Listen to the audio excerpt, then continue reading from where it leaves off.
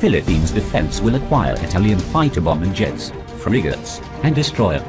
Mr. Gazmin together with a team from the Department of National Defense's newly formed Acquisition Defense System adds, went to Italy to sign a five-year contract with that country's defense ministry for the acquisition of fighter bomber jets, a frigate, a destroyer and unmanned surveillance aircrafts, among others. Gazmin said the government is working on an earmarked peso 70 billion budget to boost the military's capability in territorial defense. US no more bases like Subic Bay Clark in the Philippines. A senior US official said despite the growing need to increase security engagement with the Philippines, the US still does not plan to have permanent bases in the Philippines but remains committed to helping the country address internal security threats.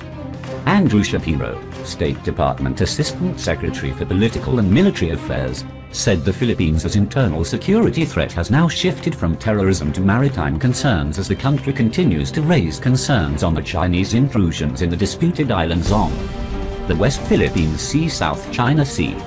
During his visit to the Philippines, Shapiro met with senior officials from the Departments of National Defense and of Foreign Affairs to discuss measures on redirecting U.S. military assistance to address internal security threats.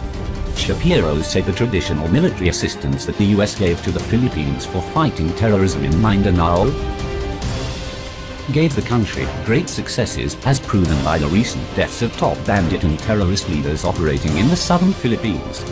Given the progress in addressing that threat terrorism, we can transition our support toward maritime security, said Shapiro in a press briefing on Friday with Manila-based journalists.